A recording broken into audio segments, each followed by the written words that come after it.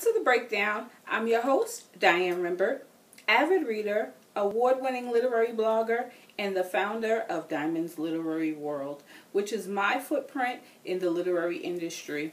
Today I want to talk to you about a book that um, has received mixed reviews um, all throughout the industry. Um, I'm talking about the sequel.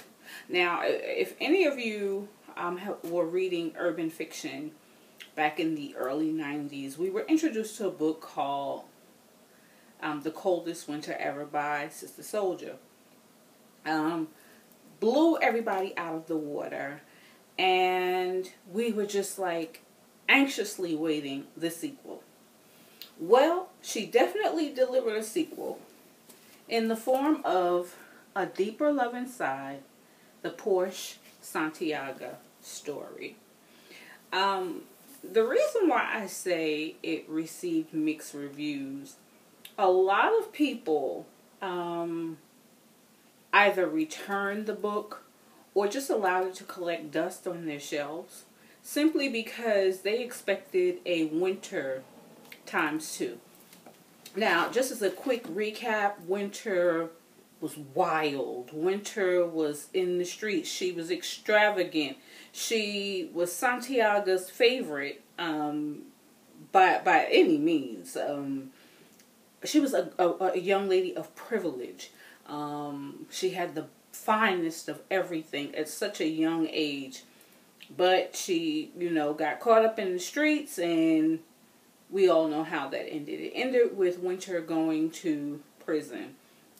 Well, um, and and that's definitely a book I recommend that you guys read. I actually think I'm gonna reread it, um, because I want to know if you know all these years later how I feel about um, winter and her story, the coldest winter ever. So I want to revisit that. Stay tuned for that. In the meantime, a deeper love inside by um, it's about the second sister, the middle child, if you will. If you remember, um, the Santiagas had four daughters. Winter, the oldest, Porsche, and it's Porsche, not Porsche or anything like that. It's Porsche, like the car, and then the twins, Mercedes and Lexus.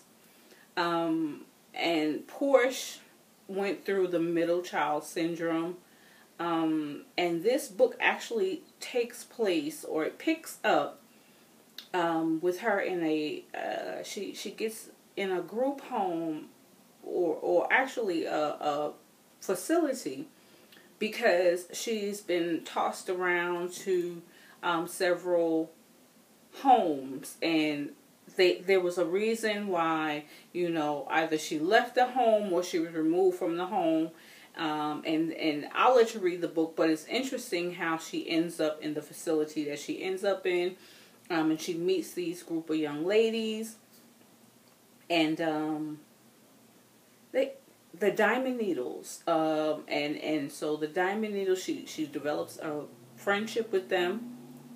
Um, a couple of them escape, and so now we're watching Porsche at ten years old um, go through things that I myself, at the age that I am, I don't know if I could have endured some of the things that she did. Yet, she did. Um, she learned some interesting things along the way, some life lessons. She met some interesting people. Um, and, and, and people she trusted. She actually, you know, put her trust in some people um, because she was trying to make her way back to her mother. She all you know she wanted to do was make her way back to her mother. You know, find out what happened with Winter and with Mercedes and Lexus. So she's doing all of this. She's working. She's earning money. She she promises that you know when i meet my when i see my mom you know i'm i'm to beautify her. I'm to buy back her mansion. Um, you know all of these things in her young mind. Well it doesn't exactly go the way that she plans on it going. Um, when she returns to the house, she finds out that it's under new ownership. She goes in search of her mom. She actually finds her mom. Um, and the condition that she found her in was devastating. Um, if you remember, in book one, her mother was, she was on drugs. And so it was kind of hard for Porsche to see, at, at this young age, to see her mother in that condition. But she did something, um, she kicked into mother mode at, at, at her young age. She, her mission was to take care of her mom, nurse her back to health, um, using some of the remedies that she learned along the way. Um, and in the process, she meets a young man named Elisha. Oh, I love this young man. He was, he came from an affluent family.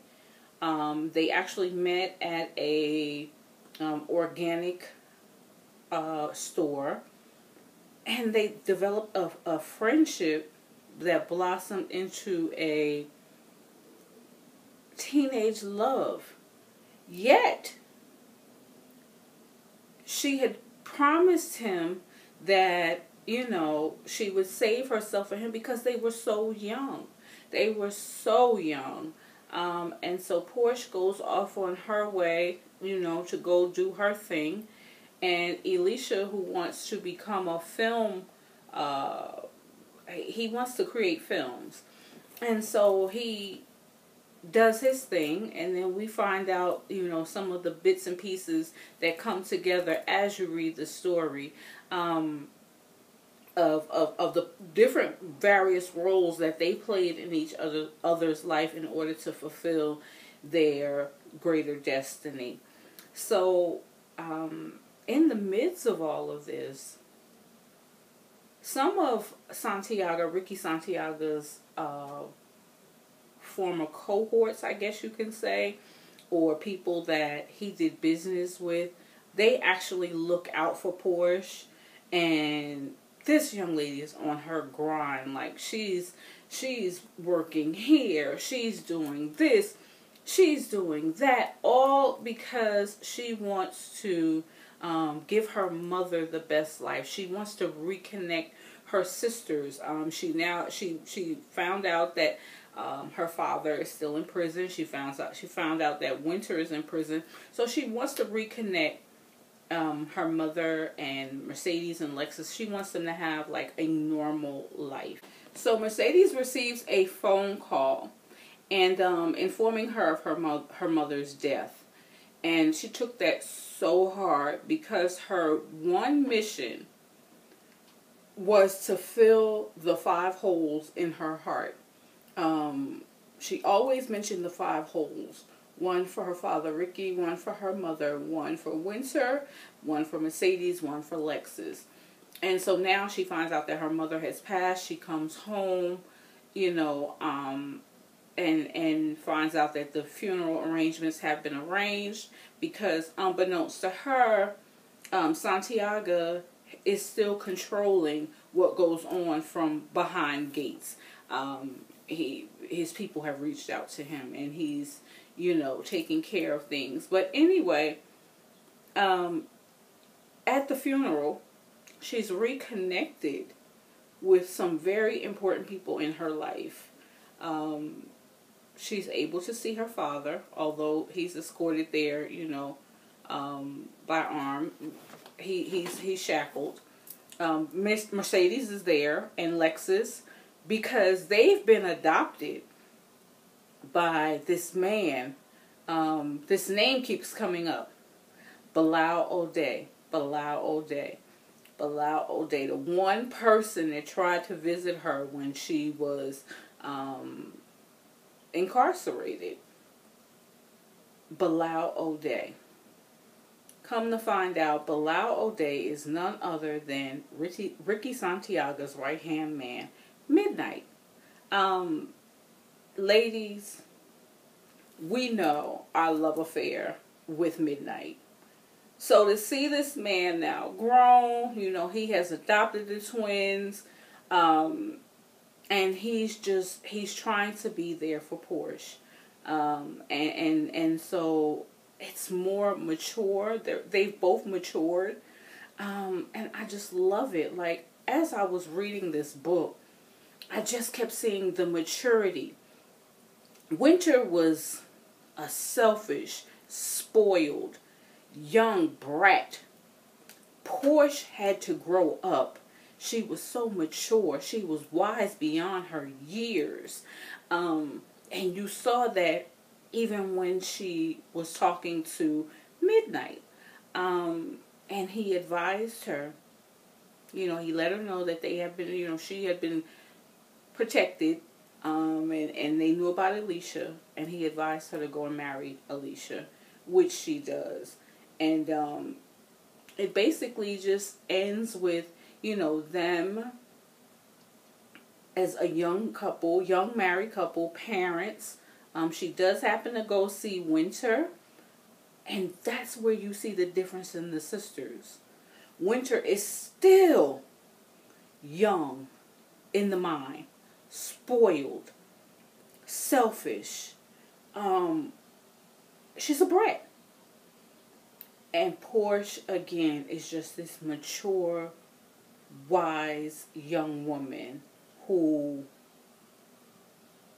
has everything that Winter wished for, um, but she went about it the wrong way. So I highly recommend this book. Like I said, it was mixed reviews. A lot of people wanted, they thought that Porsche was going to be like the selfish, you know, person that her sister was. And I guess they couldn't get with the fact that she was much, much wiser. Um, she was an old soul, to be quite honest with you. And so, you know, like I said, a lot of people took it back. A lot of people let it um, collect dust on their shelves. I enjoyed this book so much. Um, and I thank Sister Souljah for um, for what she did in this book. And now, and that was reconnecting me with Midnight and now I'm so looking forward to picking up that series. So you guys stay tuned because you know I'm going to be delving deep into that one. Um, I'd like to thank everybody who took the time to watch the video. Thank you guys for subscribing to the channel. Thank you for taking the time to, you know, um, trust me. I've, I've, I've received the comments.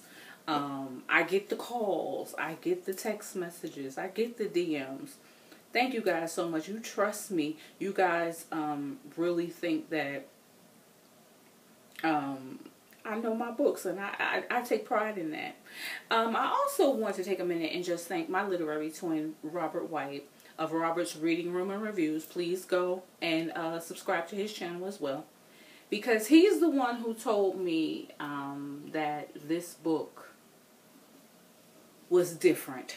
Um, good yet different. And, you know, we have similar beliefs. I mean, we haven't, we haven't, um, what's the word I'm looking for? Bumped heads against about any book to date, to date. Now, where I might place a book um, in one position, he may place it in another. Um, but we, we, and I want to thank him um, like I said, we have very similar thoughts in, in our books, and he told me to pick it up, read it, and I would enjoy it. And Robert, I thank you because I really, really, really enjoyed this book. So please go out and get it, um, and and let me know your thoughts. If you've read it, please let me know if you thought. If you didn't like it, I'd also like to know your thoughts because maybe you know we can agree to disagree you know, and what works for me again may not necessarily work for you. So I want to hear you guys' thoughts about about this book, um, and tell me what you think about Midnight if you've read that one as well. Okay, so until next time, guys, be blessed and happy reading.